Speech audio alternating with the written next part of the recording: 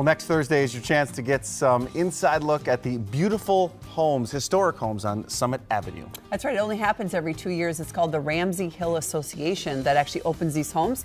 And photojournalist Deb Lingdahl got a sneak peek. This year's tour is the Treasures of Ramsey Hill.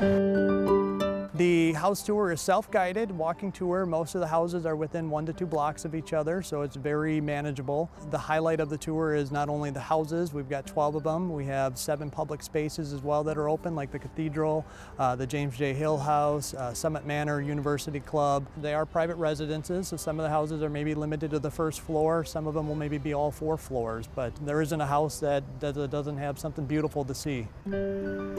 We like to share our home. It is a, a pleasure to live here. The design, the architect, Clarence Johnston, was a superb architect.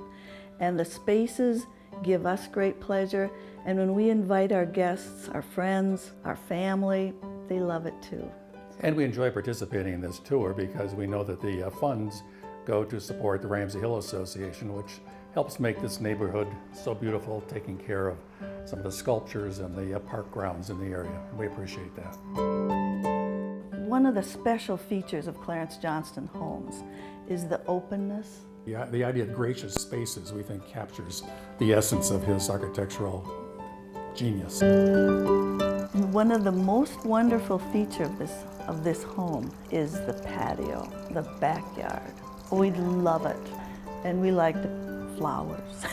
so we've got a lot of flowers. Right. Each house will have volunteer stations throughout it, docents. They will have uh, some tidbits and knowledge of the house to share with you. Our goal is to have uh, a memorable event, uh, not only for the volunteers, the homeowners that are opening up their door, but for you, our guests that, that come and get to enjoy our neighborhood like we get to enjoy it living here every day. It's, it's just a, it's a magical spot in St. Paul. People drive up and down the street and wonder, what's it like to live in those homes and what are those homes like inside? Well, we're happy to we're, give them a peek.